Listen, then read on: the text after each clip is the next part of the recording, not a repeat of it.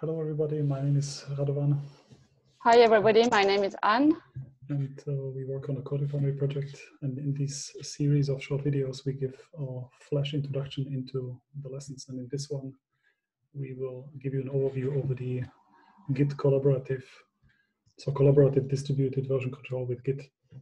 And we teach this lesson because uh, because we we we are not working in isolation. So even and even if so, it's about uh, collaborating within a research group in Git, but also even if you work alone, maybe you want your project to be reusable later and you want to share it with the community. So here we want to give uh, give everybody the tools and the workflows. And we know that uh, Git novices often struggle with um, concepts and models like what is a remote, what is a fork, origin, pull requests, which has really unnailed, so it's not very intuitive why this is called pull requests and how that works. And um, so we, we are trying to clarify these concepts and really um, a core part of this lesson, in my opinion, is code review.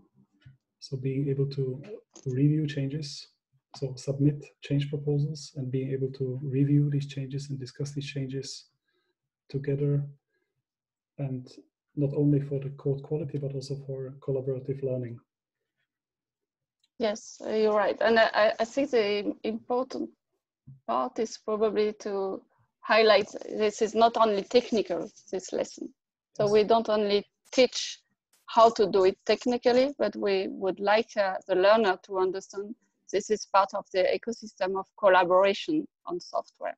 Um, so we take GitHub as an example, but we could do it with other tools.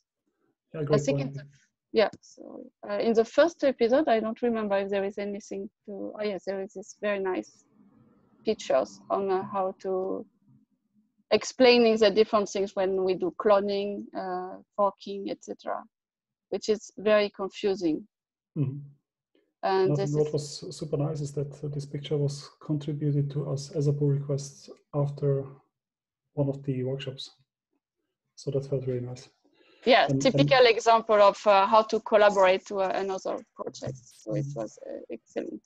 Yeah, and really the uh, point to uh, what you said is that it's really not about, not so much about the tool, it's about the approach and about really the, the workflow. And again, it's about giving the confidence to be able to collaborate using these different approaches. Yeah, so uh, we, we show like two main approaches, like this centralized workflow uh, and this distributed version control and forking workflow to show a bit like the two different ways to work collaboratively. And in both of them, uh, the main part is exercises. So we, we explain at the top what, uh, what this workflow means in terms of uh, collaboration with Git. But the most important is mostly the exercise. And this is the same with the, the next episode. Um, make sure you don't skip. Sorry. Oh, yeah. and the, these exercises, they are done in groups. Yeah, good um, point. Both, both in person and, and online. Um, and then, as you said, we really here maximize in exercises. There are very few to none type along parts. It's more about a bit of a flipped classroom setting where we start out with the exercise and later we discuss and answer questions about them. Yeah, and in the exercise, uh, especially when we do it online, we, we, we tend to maybe not to spend enough time explaining uh, the expected outcome of the exercise. So in a face-to-face -face workshop, it's uh, easier to correct because people will not be in a breakout room. But in a real uh, um, online workshop, make sure you spend enough time explaining what is expected in the exercise. And uh, that is not about uh, the technicalities, being able to uh, uh, write in the other uh, repository.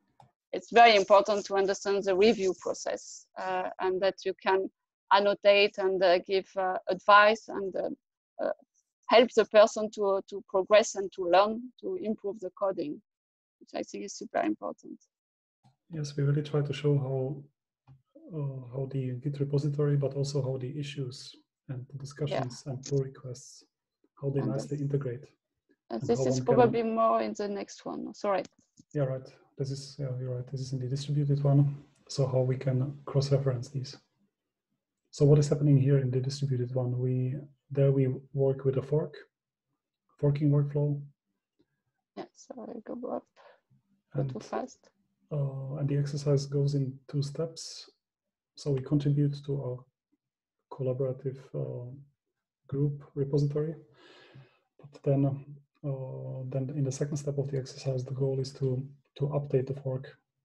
And also, this is something that, in my experience, really many newcomers well have to get used to. But then we try to show that it's it can be done in two commands, but we also try to give really the understanding of what is happening. Yeah, and this is really here where we introduce a notion of pull request and uh, uh, really uh, this is usually quite new for many people, even if they have used Git and GitHub. Uh, and this review process is uh, something they are not very well aware. And this is what you were mentioning, update your fork uh, it's it's worth maybe even if you have time to show it uh, in the main classroom when you, you do it online because some uh, learners will skip it because they will not have time uh, and they, they, they may get into trouble later on. In terms, uh, last one, very important, how to contribute changes to somebody else's projects. Um, so this one is, uh, I think it's, it's nice in this one if uh, if we add examples on um, yeah, we should project you have contributed. Sorry. Mm. Yeah, good idea to to add real life examples because here we try to tie these uh, episodes together and give really advice on in different situations. Yeah, and I, think this what is nice is uh, uh, that uh, open the open software. Uh, usually they know many, they use many in their day-to-day research work, but they don't necessarily think they can really contribute. And contributing can uh, mean entering an issue if they spot a problem. And this is uh, something nice to, uh, to highlight.